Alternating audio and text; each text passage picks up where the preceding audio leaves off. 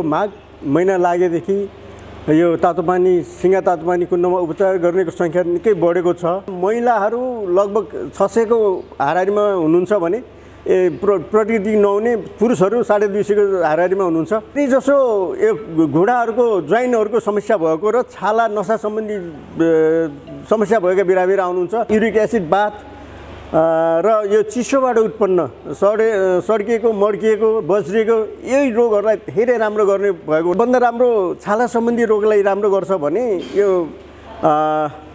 Gastric जुन यो पानी पिउनाले ग्यास्ट्रिक भएको र पेट सम्बन्धी रोगलाई पनि एकदम राम्रो गर्छ गर्छ यो पानी। धेरैजनाको सङ्ख्यामा हुँदाखेरि ए यो कुण्डले मात्र नथाम्दाखेरि हामीले अर्को दुईवटा कुण्ड पनि निर्माण गरेका छौँ जसले गर्दाखेरि जुनै पनि बेला त्यहाँ महिला पुरुष एनी टाइम कुनै पनि समयमा आएर उहाँहरू नुहाउन सक्ने हामीले व्यवस्था मिलाएका छौँ। उहाँहरूलाई हामीले एक हप्ता डुबे बापत हामीले तिन सय पचास शुल्क लिएका छौँ।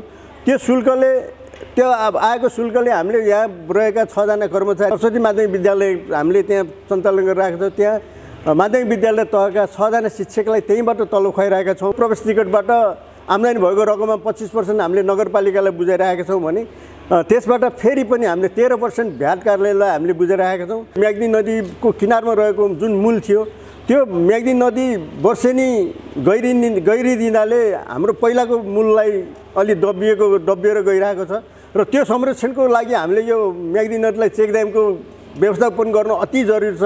समस्या यो ढाडको हुन्छ।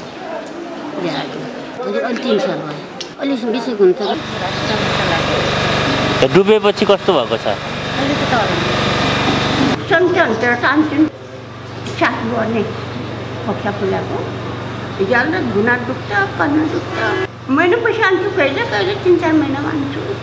यहाँ नानीलाई यसो तातो पानी लागेपछि अलि ठिक फरक पर्छ कि भनेर यस्तो सुनेको थियो अनि त्यही भएर लिएर आएको।